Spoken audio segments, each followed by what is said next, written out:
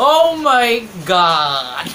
Get mentioning my name, we don't like what you I don't give a fuck. Y'all can suck my dick. I'm making pesetas while they're talking, talking shit. Nah, I don't give a fuck. Don't waste my time for this. What's up guys? I'm George Sunta and welcome back to my YouTube channel. So for today's video, ang gagawin natin ay gagawa tayo ng DIY ring light na affordable, yung kasya lang sa budget nyo guys.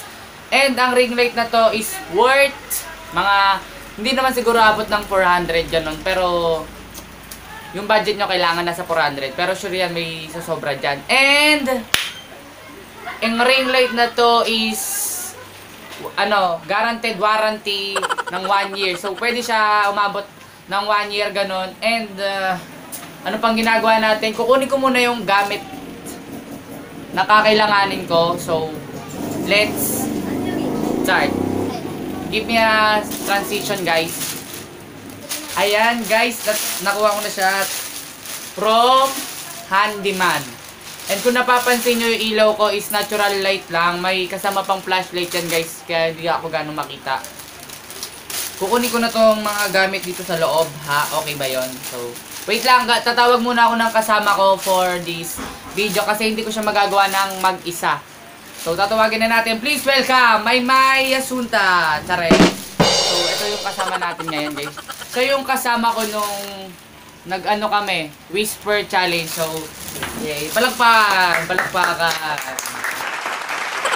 So, siya muna yung magiging katulong ko for this video, guys. And ito nga pala yung mga kailangan nyo bago kayo gumawa ng DIY ring light. So, ang kailangan nyo syempre, itong fucking light. Ayan, kailangan yan. Hawakan mo. Ayan. So, kailangan ma- maingat kayo. And, kailangan nyo rin tong ano ba tawag dito? Socket. Para sa ilaw. Syempre, hindi kayo makakagawa nang wala itong socket. At last, kailangan nyo rin ng tripod. Syempre, guys. Wala na naman. Resibo. So, kailangan nyo ng tripod. And hindi ko mapapakita dahil gamit ko yung tripod na ginagawa naming stand ngayon. So, ito siya lahat. Itong socket is 130. Yan. Focus, focus. Ayaw. At ito namang ilaw is 228. Ang nakalagay dito is 285. Yan, 285. So, may discount siya na 70 plus. Kaya, kumasya yung budget namin. And, simulan na natin tong kalokohan na to. Tatanggalin ko muna yung cellphone sa tripod kasi kakailanganin na yung tripod. So, wait lang. So, ayun guys, nag-change angle na kami at nasa baba kami ngayon at ito yung tripod na gamit namin. So, kailangan muna natin siyang babaan. Yan. Ay, hindi, wag na natin babaan kasi nga itata iangat din naman natin siya. So, maraming tao sa likod natin, yung mga papampam dyan sa buhay. So, guys, kunin na. Ay, eto pala, kailangan nyo rin ng scotch tape at gunting kasi para mamaya. So, assistant, dito. Oh, panis, meron tao dyan. Ayan, kailangan natin to. So, eto na, gagawin na nga natin to. Huwag na natin patagalin pa dahil excited na ako nung mangyayari sa DIY ring light na to. So, first, syempre, baklasin. Yan. So, dahan-dahan lang guys ha. Kasi baka mamaya, sumabog to. Hawakan mo muna. Huwag dyan sa bilog, dito lang. Kala ko yung pang ano sa ano, So. Babaan muna natin to syempre. At kung meron kayong, re, ano guys, kung meron kayong tripod na dalawa, mas okay yon. Tsaka itong gagawin ko is, ano guys, hindi siya talaga magastos. Kasi yung iba, di ba kapag gumagawa ng ring light, dalawa-dalawang tripod or meron pa silang gorilla pad na ginagamit for making a DIY ring light. So ako hindi na kailangan. Tapos yung iba rin pala is bibili nga ayon ng gorilla pad para may holder sila. Ganon. So, ito muna kailangan natin. Ang ingay. So, ayan. Ang una mo lang gagawin dyan, syempre, titignan mo kung paano nga ba siya mase-center, guys. Yan, ganyan. kailangan center yung ano, hindi nyo makita, di ba? Sabi ko sa inyo eh. Angat natin, yan. Isa-center nyo lang tong Ayan. So, kapag center na siya, pwede nyo nang i-scotch tape. So, hanapin mo yung scotch tape ng butas na yan. May pagbabago bang nangyayari kapag meron tayong ring light. Pwede rin. Tapos, yan. Okay na? Guys, mas better sa baba muna kayo mag-start palibutan nyo.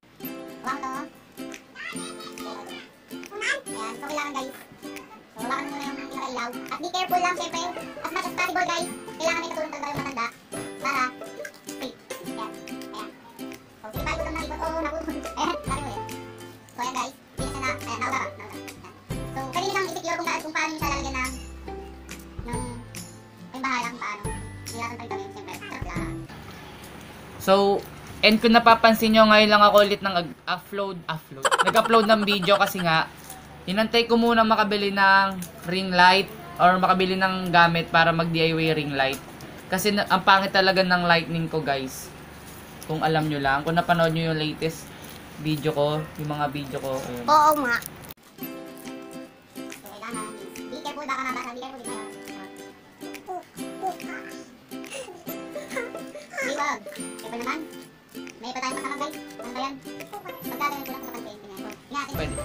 Pwede na yan. And, para sa akin, wait lang, change angle tayo ulit. Okay, hawa mo, hawa mo. Video mo ako, yan.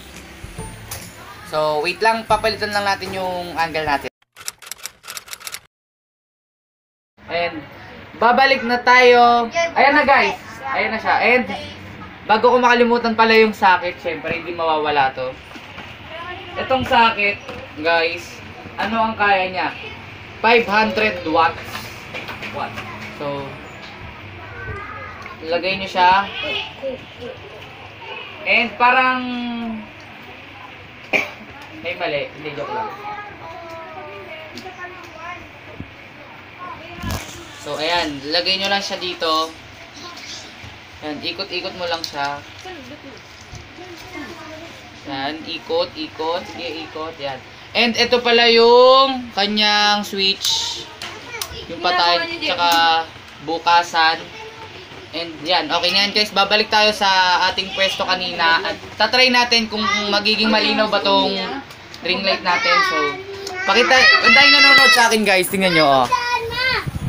Ah, diba? Madami na tayong watch talaga. Wait lang, babalik tayo sa pwesto natin in 3, 2, 1. Ayun na nga guys, at muli kami nagbabalik sa aking YouTube channel, Charet. So, andito na kami ulit sa pwesto namin at wala na kami, wala na kayo nakikita na gamit. So, dahil tapos na natin yung DIY ring light, susubukan natin kung effective nga ba yung ring light na ginawa natin, kung sasabog o hindi. So, may taga-saksak tayo and ma- mamaya mo na yung saksak, okay?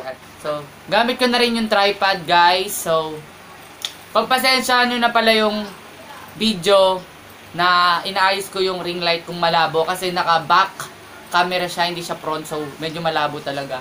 And, eto na nga, dito na natin masusubukan tong katarantaduan na na to. And, sabay tayo magbilang ha.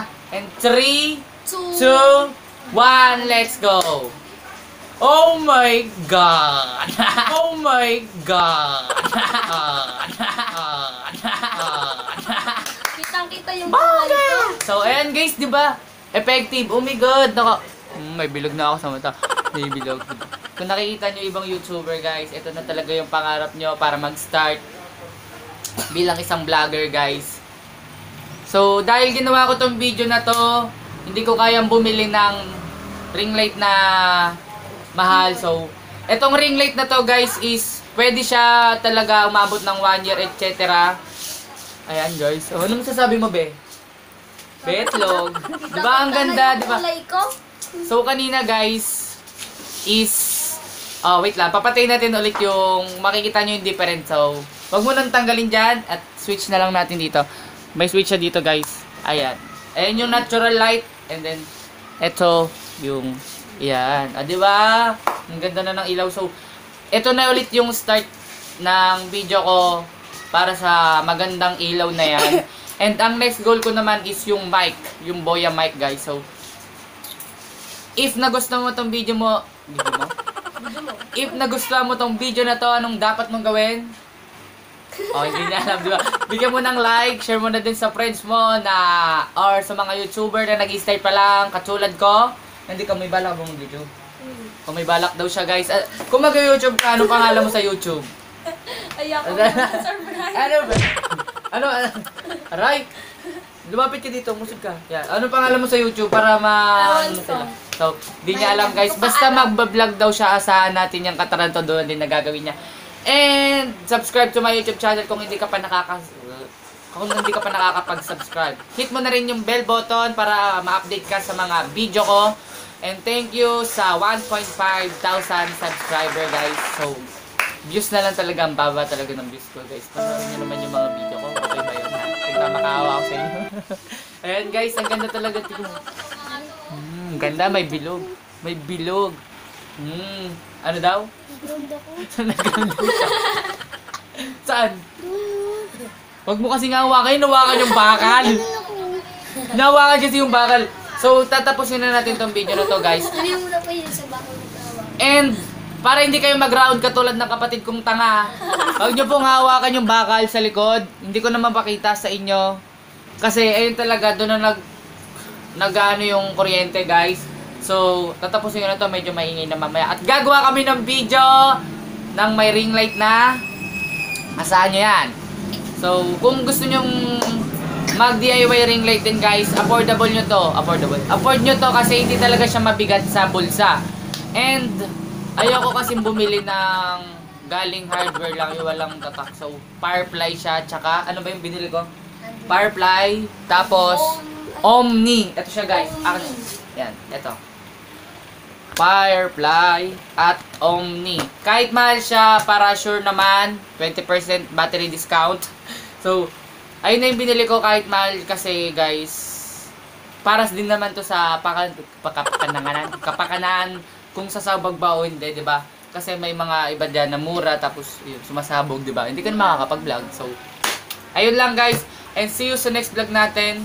Suggest kung may gusto kang gawing video na katarantaduhan and comment kung gusto mo ma-shoutout, comment down below your name and shoutout ka namin. So, see you sa next vlog guys. I hope you enjoy this video. At sana may natutunan kayo. Patayin yung ilaw! Charan! Buksan yung ilaw! So, bye-bye guys and thank you sa mga nagawak ng ating cameraman and andito yung kapatid ka, dito ka, halika dito, papakita, ayan. Siya yung nag-ground. Siya yung nag-ground. And ito yung takasaksak, halika dito, papakita, ayan. So, siya yung tagasaksak ng ilaw, ayan. Tapos ito yung At epal. ito yung epal, dito ka.